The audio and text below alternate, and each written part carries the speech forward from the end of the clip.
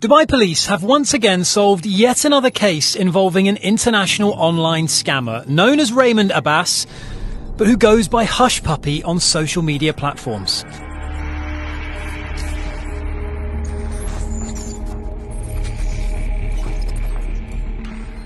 In less than just four months, Dubai's police force was able to solve the new operation dubbed Fox Hunt 2, where 12 other gang members were also arrested.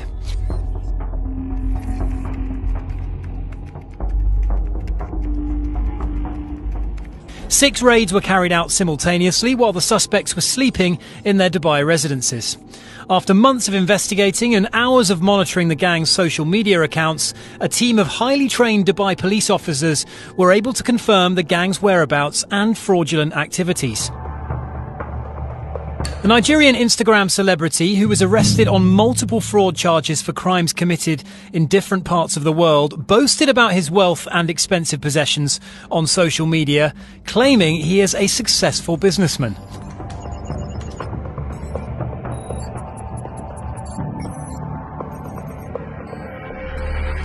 Little did Abbas know, Dubai e-police teams were tracking his every move and taking note of all his social media activities.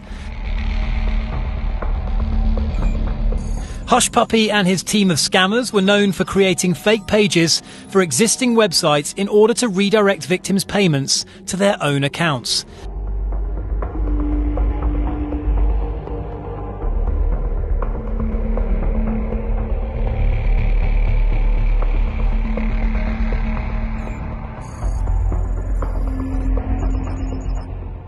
Dubai police have also found that the gang specialised in hacking corporate emails and sending fake messages to clients in order to redirect financial transfers and people's bank details to their own accounts.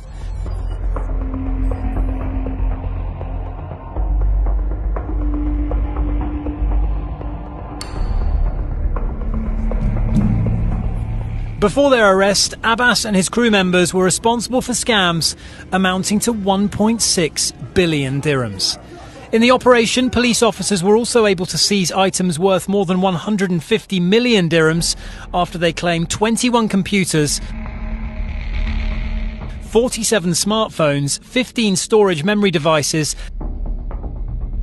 and five hard disks containing data 1,926,400 victims.